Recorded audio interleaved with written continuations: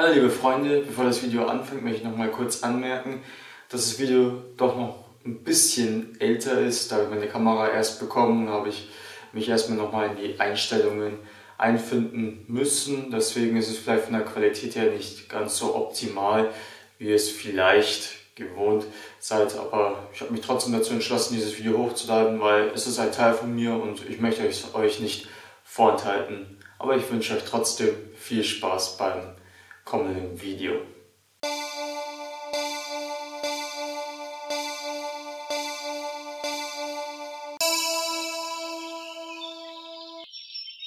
So, so viel zur Theorie, kommen wir zur Praxis. Also ich möchte heute Sauerkraut aus Grünkohl herstellen. Die habe, ich habe drei Grünkohlköpfe, sage ich mal in Anführungszeichen, vom einem guten regionalen Bauern. Und dann möchte ich noch Sauerkraut aus Rotkohl herstellen.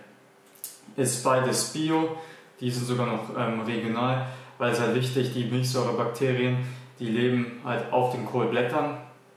Und je biologischer äh, diese sind, desto mehr habe ich davon, weil mehr Bakterien leben natürlich auf dem Kohl, desto lebendiger ist natürlich auch die Nahrung, weil ich da weniger Giftstoffe und Pestizide auf diesen Kohl ausgesetzt wurden. Und dann habe ich auch weniger ich sage mal, den Giftcocktail bei der Fermentation für mein Sauerkraut und wir wollen es halt so gesund wie möglich haben. Deswegen am besten biologisch oder selbst anbauen, dann wisst ihr, was ihr davon habt. Genau. Nee, was ich noch zusätzlich ähm, für die Herstellung verwende, sind saure Äpfel, die tue ich dann vierteln und oben ähm, auf die Schicht ablegen, damit die Milchsäurebakterien schon mal einen guten ähm, Startpunkt haben und ähm, Nahrung, damit der Fermentationsprozess schneller in Gange geht. Und dann möchte ich noch die Braunalge ähm, Wakame noch hinzufügen. Das sind Flocken, die lege ich auch oben drauf für die Fermentation.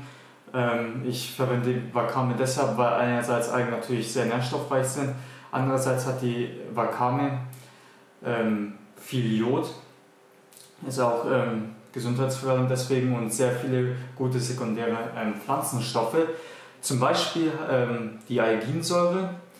Ähm, Alginsäure ist äh, ein Stoff in den Zellwänden der Bra äh, Braunalge und hat eine hohe ähm, Verbindung, äh, Verdickungs- und äh, Bindungsfähigkeit. Die wird zum Beispiel in der Medizin ähm, verwendet, um flüssige Substanzen in ein Gel zu verwandeln, dann kann, ich, kann man halt hier ähm, zum Beispiel sensible Stoffe, Medikamente oder auch in unserem Fall die Milchsäurebakterien ähm, von dem Einfluss der Magensäure ähm, schützen und dann gelangen halt diese Substanzen besser in den Darm, wo sie halt vom Körper aufgenommen werden. Das ist halt, unser, das ist halt der Zweck, den ich damit erreichen möchte, dass halt so viele Milchsäurebakterien wie möglich durch diese Alginsäure ähm, hindurchkommen. Zudem ist es halt auch so, dass diese ähm, äh, äh, auch eine geringe Verstoffwechslung aufweist. Also das ähm, heißt, dass die, ähm, dieses Gel, diese Substanz lange im Organismus bleibt, bis sie wieder ausgeschieden sind. Dann können sich halt immer mehr Bakterien ansiedeln. Zudem wirkt ähm, diese auch sättigend, das heißt, der Magen füllt sich natürlich, weil das ähm, Gel natürlich sich im Magen aufbläht. Das heißt, es hilft auch gegen gewisse Heißhungerattacken. Zudem wird es auch gegen Sodbrennen verwendet, nur so nebenbei. Zudem weist auch diese Alge einen äh, sekundären Pflanzenstoff auf, der heißt Fucoxanthin. Ähm, Fucoxanthin ist neben Chlorophyll der Farbstoff, den diese Alge ihre besondere Farbe halt ausmacht. Und diese wird halt auch in Chloro, ähm, äh, Chloroplasten hergestellt. Und das Besondere an Fucoxanthin ist, dass diese besonders den grünen Licht Lichtspektrum, also Maximum bei ca. 510 bis 525 äh, Nanometer aufnimmt, welches ähm, das Chlorophyll ähm, einfach nur reflektiert. Also das heißt, dass hier noch mehr Lichtenergie ähm, bzw. Biophotonen aufgenommen werden und unsere Nahrung nochmal zusätzlich lebendiger wird. Außerdem ist äh, Fucoxanthin auch gut für die Fettverbrennung und reduziert auch den Blutdruck. Und der letzte sekundäre Pflanzenstoff ist ähm, Fuco, äh, Fucoid, äh, Fuco, Fucoidan. Das ist ein starkes Antioxidant und dann gibt es ähm, einige Studien auch, beziehungsweise auch äh, einige Artikel, die ich gelesen habe, dass dieses ähm, auch antikarziogen reagieren soll, im Magen auch zum Beispiel. Das heißt, dass dieser Stoff die Krebszellen äh, dazu anregen soll, sich selbst zu zerstören und die ähm, gesunden Zellen bleiben erhalten, was in der Chemotherapie nicht der Fall ist. Genau. So viel zu Wakame. Genau, also was braucht sie noch, um Sauerkraut herzustellen? Ich verwende noch ähm, die 3 Liter Gläser, da werde ich später das Sauerkraut einfüllen. Dann werde ich eine Probe verwenden für, das, äh, für den Rotkohl, damit ich ähm, die in Scheiben schneiden kann. Je dünner ich natürlich die Blätter bzw. den Kohl schneide, desto leichter fällt dann die Fermentation aus. Eine Glasschale und für den Grünkohl verwende ich dann klassisch ein Messer und schneide ihn dann zurecht. Genau. Und, und das Besondere ist halt, ich möchte halt jetzt ähm, Sauerkraut auch ohne Salz herstellen. Ähm, man kann ihn herstellen, da würde ich eine Salzlauge verwenden, aber ich nehm, möchte halt dieses Sauerkraut jetzt ähm, ohne Salz verwenden, also sozusagen salzarm. Das ist halt ein Anschluss, das ist halt ein einfacher, ähm, durch das Salz die Flüssigkeit aus dem Kohl ähm, zu kneten, beziehungsweise dann schmeckt auch das Sauerkraut auch im Nachhinein etwas weicher. Genau. genau. Dann fange ich mal mit dem Rotkohl an. Da werde ich jetzt erstmal die ganzen das äußere Blatt entfernen, weil ich den aus dem Bioladen gekauft habe und ich weiß ja nicht, wer den alles angefasst hat. Außerdem ist er halt ein bisschen dreckig und ja, das Deshalb werde ich jetzt hier diese äußeren Blätter entfernen. Beim Grünkohl, den habe ich schon ähm, vornherein vorbereitet. Das heißt, dass ich hier schon den Strom und alles, die ganzen losen Blätter abgezogen habe. Genau. Dann, nachdem ich halt die äußeren Blätter abgezogen habe, werde ich mir werde ich nochmal ein paar Blätter abzupfen und die werde ich dann ja, aufbewahren. Das ist auch wichtig für später. Die werde ich dann oben an der Oberfläche ähm, auslegen. Deshalb solltet ihr nicht alle, äh, solltet ihr immer ein paar Blätter zurücklegen und nicht den ganzen Kohl probeln. Genau. Ja. Das wird jetzt nicht so.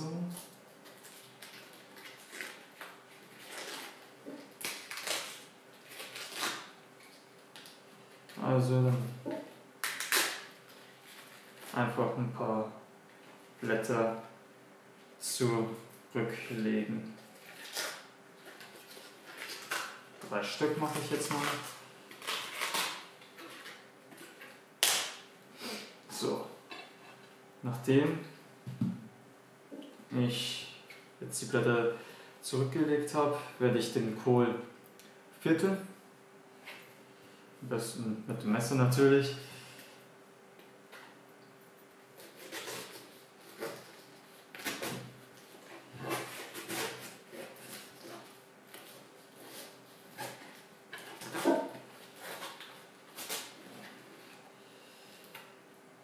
Ah, ein bisschen Kraft sollte man auch aufwenden.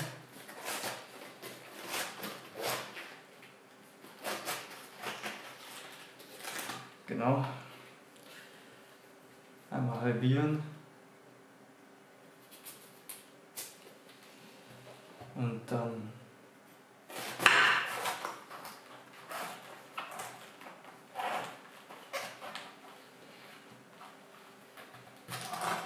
So.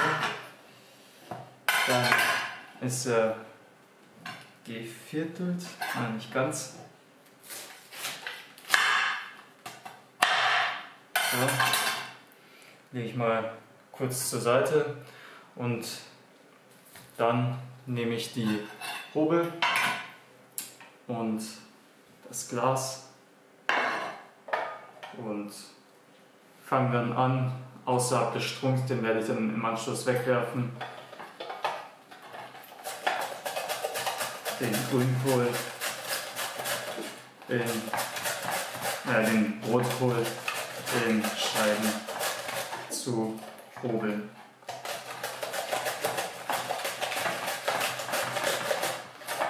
Genau.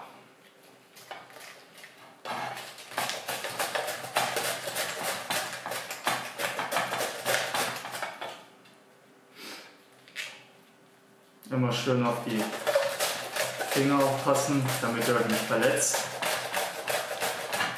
Und damit es auch später nicht in den Sauerkraut gelangt, sondern natürlich alles so steril wie möglich sein. Das habe ich auch vergessen am Anfang zu sagen. Schön die Hände waschen und natürlich auch die Schüsseln, die ihr verwendet, also allgemein die Utensilien sollten auch so rein wie möglich sein. So. Das werde ich jetzt mit dem ganzen Rotkohl machen. So schaut es dann ungefähr aus und je, je feiner das natürlich ist, desto ähm, schneller und besser wird ähm, der Fermentationsprozess im Anschluss ähm, ablaufen. Und genau, das werde ich jetzt mit dem restlichen Rotkohl machen und dann sehen wir uns, wenn ich dann die Blätter ähm, geschnitten habe, beziehungsweise wenn ich dann anfange, den Grünkohl zu schneiden. So, das ist das Ergebnis und genau, fein gehobelt und stelle ich mal jetzt zur Seite und wie ich jetzt beim Grünkohl vorgehen werde, werde ich halt die Blätter klassisch mit dem Messer in kleine ähm, Stückchen, also in feinen Scheiben ähm, schneiden. Ich dann auch gleich in die Kamera zeigen.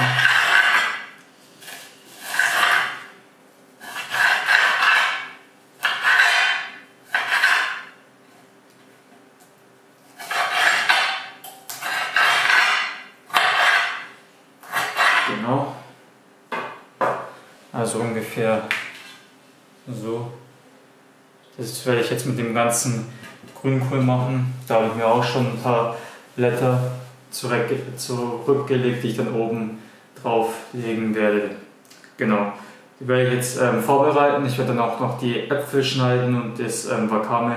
Und dann sehen wir uns, wenn ich ähm, anfange, den Knoll, äh, den Knoll, den Kohl zu kneten. So. Jetzt bin ich fertig, ist schon mit auch langsam dunkel. So schaut es dann ungefähr aus. Das ist der Rotkohl gehobelt in dünnen Streifen. Vom Grünkohl habe ich hier zwei Eimer voll. Jetzt kommen, kommen wir zu dem Teil, wo wir den Rotkohl bzw. den Grünkohl ähm, gut durchkneten. Also gut ähm, pressen, da kann man ja in der Regel auch einen Hammer oder sonstige Utensilien verwenden, um den Kohl gut durchzupressen. Da ist halt wichtig, dass man es so lange presst, also dann sollte man sich auch wirklich Zeit nehmen, bis ähm, Flüssigkeit austritt. Und deshalb ist es auch am besten, den Kohl dann in dünnen Scheiben zu schneiden, damit das leichter ähm, fällt und weil halt jetzt ähm, das, die Variante ohne Salz machen möchte, muss man halt auch ein bisschen länger kneten. Sonst würde man jetzt hier eine Salzlauge über den Kohl drüber kippen und dann würde das Kneten auch ein bisschen schneller gehen. Genau, dann werde ich, ich, wie, werde ich hier wieder einen Cut setzen und wir sehen uns dann, wenn ich den Kohl in die Gläser fülle. Okay. Ich habe jetzt den Rotkohl ausgewirkt. Den werde ich jetzt in das 3 Liter Glas hier neben mir füllen. Also wirklich wichtig aufzupassen, dass halt genug Saft austretet. Soll ja ähm, später dicht sein und unter der Flüssigkeit beginnt natürlich auch die ähm, Fermentation. Und da sollte halt auch so wenig Luft wie möglich ähm, sein, weil der Sauerstoff, da gedeihen halt am besten, um die zu stören, den Fermentationsprozess. Genau. Das werde ich jetzt hier in das ähm, Glas füllen. Rotkohl. Und wichtig dabei ist, dass ihr auch den dann hier gut mit runter drückt. Damit die Flüssigkeit austretet, damit der Kohl auch hier schön unter Flüssigkeit ist. Dafür eignen sich halt diese 3 Liter Gläser wunderbar. Und da werde ich jetzt hier alles schön stampfen. Also ihr könnt ja die Flüssigkeit sehen, werde ich jetzt alles stampfen.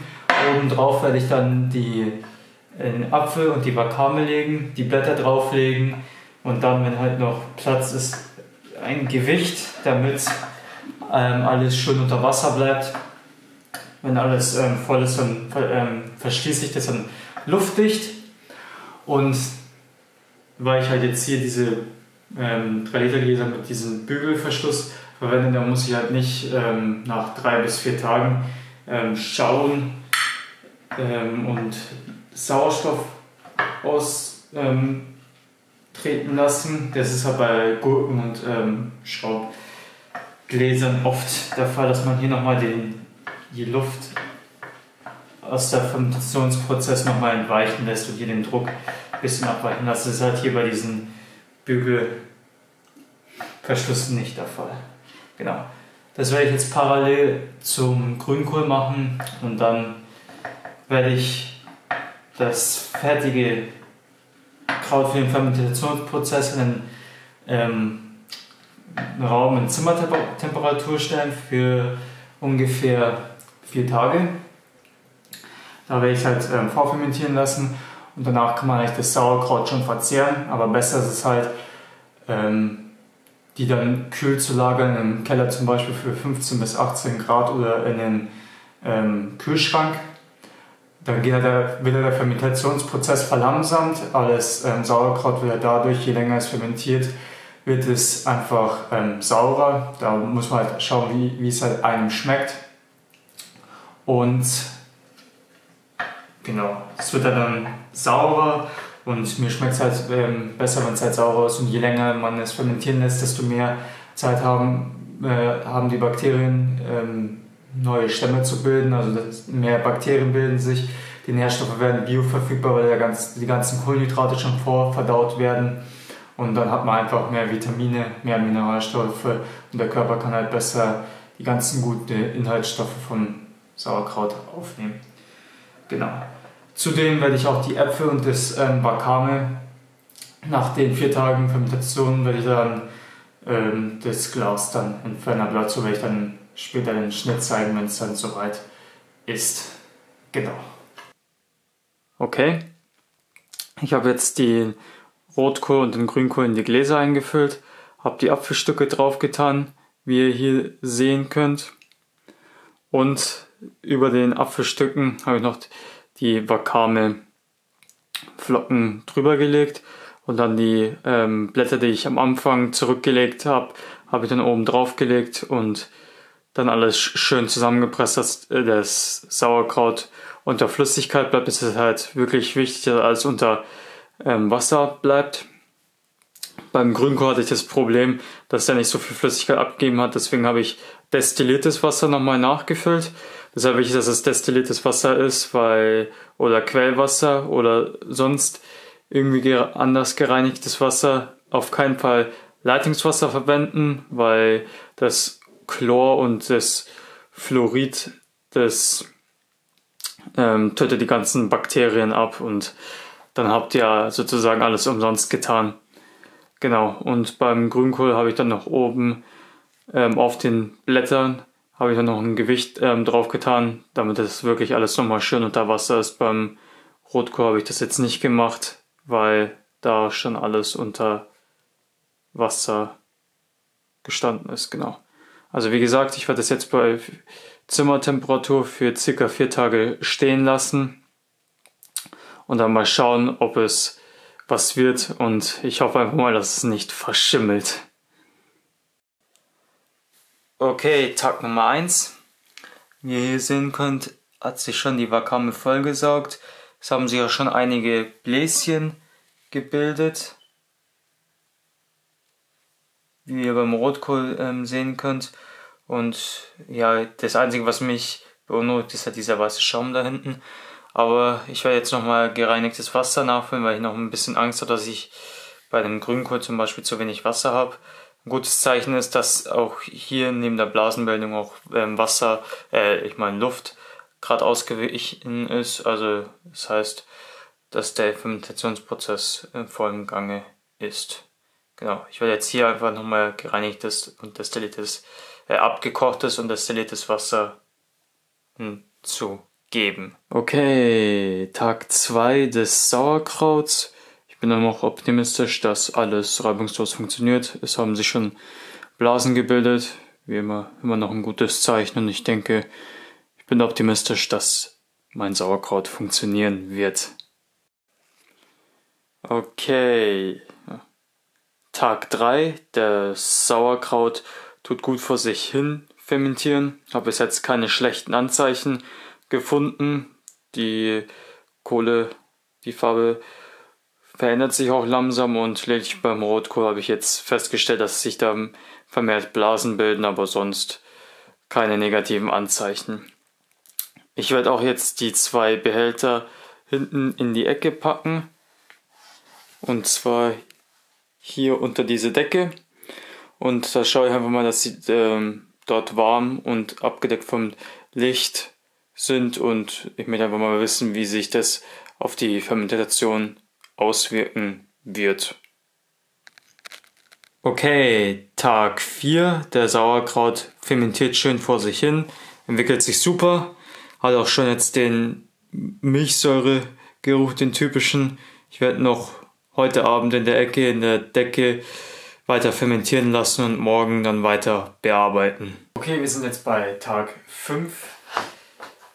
Ich habe jetzt das Sauerkraut fünf Tage lang bei mir im Zimmer in jetzt in Zimmertemperatur, also in Raumtemperatur fermentieren lassen. Und jetzt werde ich halt mit der weiteren Verarbeitung vorgehen. Das heißt, ich werde jetzt hier die Deckel öffnen. Oh, ganz schön viel Kunststoff ist ausgetreten. Und hier der klassische Geruch von Sauerkraut. Auch hier ist ganz schön viel Kohlenstoff rausgegangen. Ich werde jetzt und ja, man, ich rieche auch, dass das einen Sauerkraut ähnlichen Geruch hat. Genau. Jetzt mal das Gewicht zur Seite stellen. So, dann werde ich das Kohlblatt entfernen. Also hier oben die ganzen Kohlblätter, die ich am Anfang reingelegt habe nehme ich jetzt raus. Wichtig davor ist halt, ich habe meine Hände auch gewaschen, das solltet ihr auch machen. Und jo, da noch ein drittes Blatt.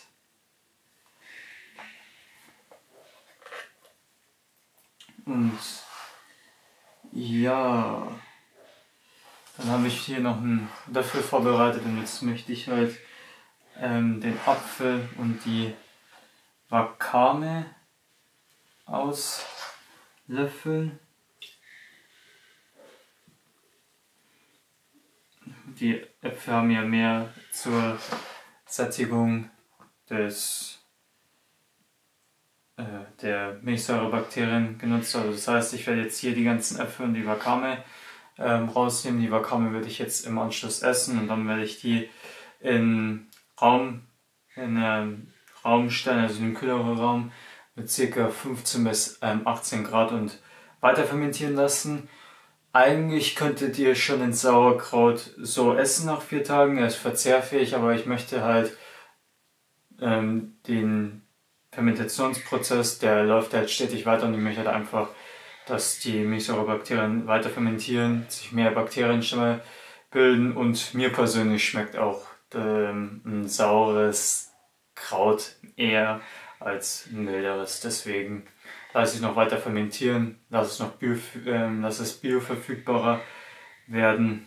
Hängt einfach davon ab, wie ihr vom Geschmacklichen her Sauerkraut am liebsten mögt.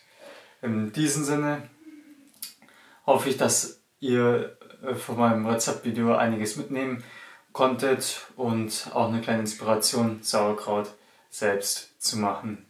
Wir sehen uns im, vielen Dank, dass ihr eingeschaltet habt und wir sehen uns im nächsten Video. Bis dahin, ciao.